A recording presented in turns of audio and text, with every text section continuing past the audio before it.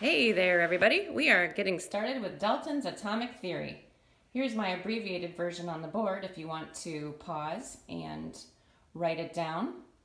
You can also write down and record Dalton's actual wording in his complete sentences on page 83 of your textbook. Let's talk about it. All right, John Dalton, brilliant chemist, came up with this theory.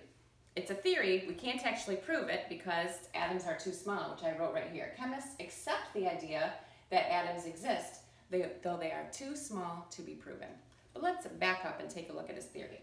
Number one, all matter is made of indivisible particles called atoms. So way back in ancient Greece, when Democritus said, yeah, I don't think that continuous theory of matter is quite correct, I'm going to propose the discontinuous theory of matter. He was right.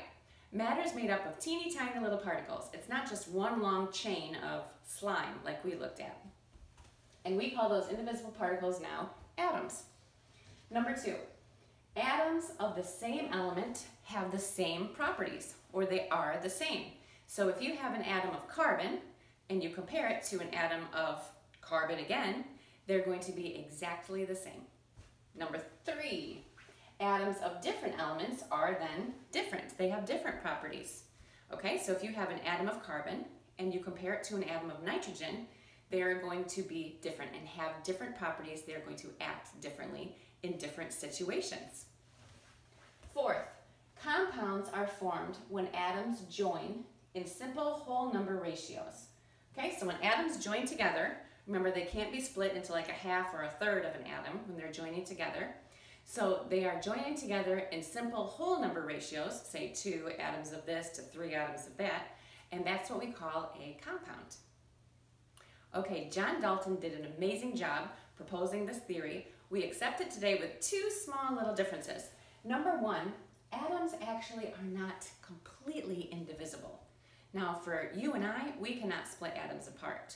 But those scientists who came up with the atomic bomb, that's exactly what they did. They figured out how to use uh, nuclear fusion to split atoms, give off tons of energy, and create these huge, scary bombs. And the second one here, atoms of the same element are exactly the same. They don't have exactly the same properties. Sometimes you might have two different atoms of, uh, say, boron, um, and they have teeny tiny little differences. Those two atoms would be called isotopes of one another, and the difference lies in the nucleus, in the center of the atoms. We're going to talk about what isotopes are more in a future module. But for the most part, John Dalton got it right. So this is Dalton's atomic theory that you need to know. And after you get that down, we're going to talk about molecules.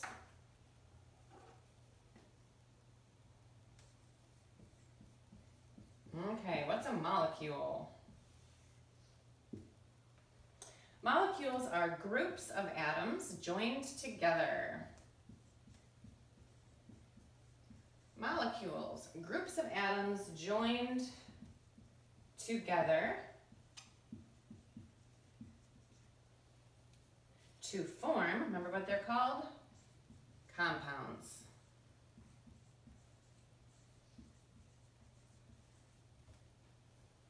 All right, so remember, elements, elements are composed of identical atoms.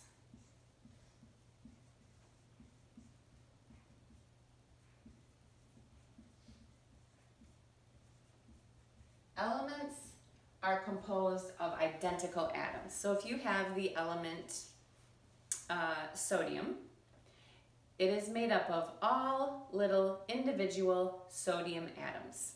Elements made up of atoms. Okay? Compounds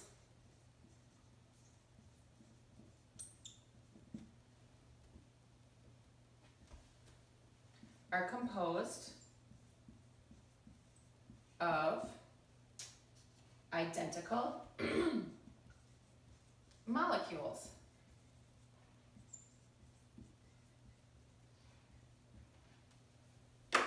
So if you have the compound of sodium chloride, which is table salt, it is composed of individual, not atoms this time, but little groups of atoms that look exactly the same to one another, and those little groups of atoms are called molecules. So molecules make up compounds, atoms make up elements. Got that? Uh, I have a little example for you right here. If you can see in my hand, okay, these are all little yellow uh, tissue paper balls. And they are going to show us an example of, let's pretend this is the element carbon. So if we could zoom in on carbon, carbon would be made up of all the same type of atom. Here's another example of an element. Let's say this one is nitrogen. All right, so here we have four little nitrogen atoms. Together, the group of them would be the element nitrogen. Compare that to these right here. As you can see, they are not just one color, but two colors, green and blue. So this is representing two atoms joined together. Let's pretend this is that compound that we were talking about, table salt. So this is um, a compound, sodium chloride, made up of individual sodium chloride molecules, atoms that are joined together. And the molecules all look the same, one sodium, one chloride. Okay? So compounds are made of molecules, elements are made of atoms. If I was to put together my atoms of carbon and nitrogen, remember my yellow and red, are they joined together now? I'm shaking them up. Let's say I have a container full of these atoms. I'm shaking them up, but they're not joined together. Is this a compound? No, it's not. It's just two elements hanging out together in the container. So it's not a compound unless the atoms are joined together. I'm going to draw a picture for you to add to your notes. Here's an element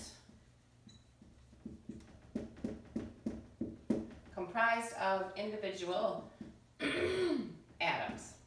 Okay? Compare that to a compound comprised of molecules.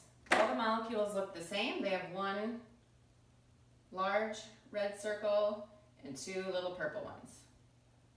So compounds are comprised of identical molecules. Molecule are atoms that are joined together in groups. All right, got that down? Moving on.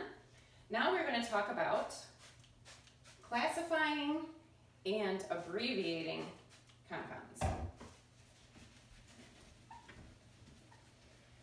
Erase this here for you.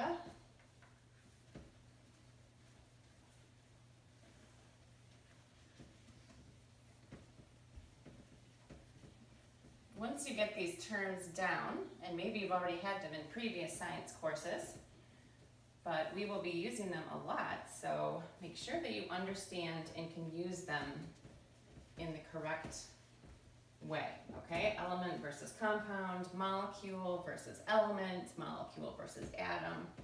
Make sure you know the difference between them. All right, abbreviating and classifying compounds.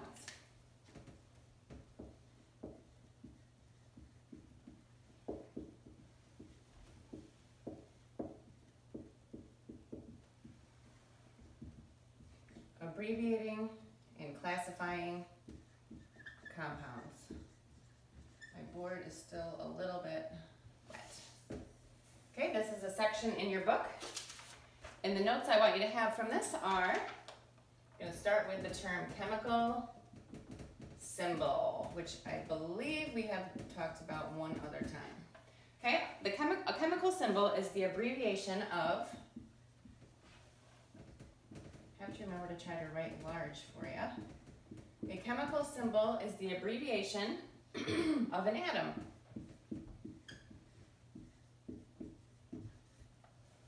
Okay? For example, B is the chemical symbol of boron. Okay? It names the atom, a boron atom. If you have a group of boron atoms, then you have the element boron. chemical formula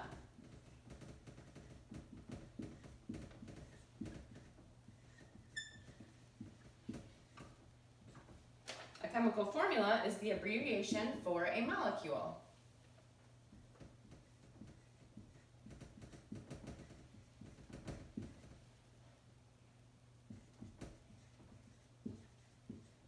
Chemical formula is the abbreviation for a molecule telling which atoms and how many.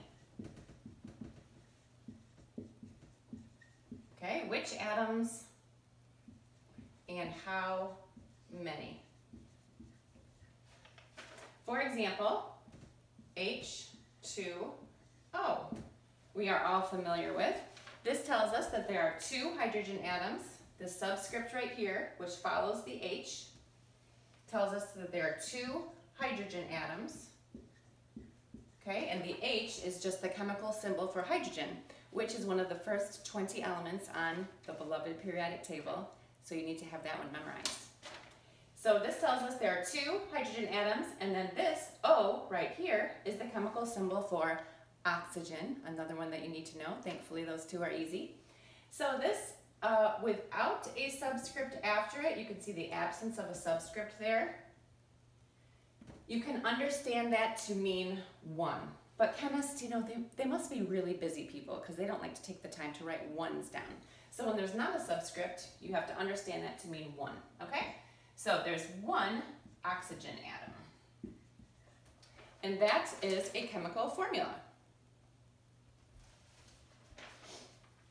Another example down here. Example, what if we had one calcium, we're gonna go the other way now, one calcium and two chlorine atoms joined together to make a molecule. What would the chemical formula be for one calcium and two chlorine? Well, I know that the chemical symbol for calcium is capital C-A. There's only one, so I don't put a subscript. And the chemical symbol for chlorine is capital C-L, and there are two of them, so I put a little 2 subscript after Cl. So CaCl2 is the chemical formula for calcium chloride.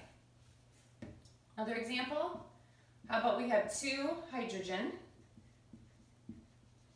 and two oxygen. Okay, the chemical symbol for hydrogen is H. We said there's two of them, so we put a two subscript.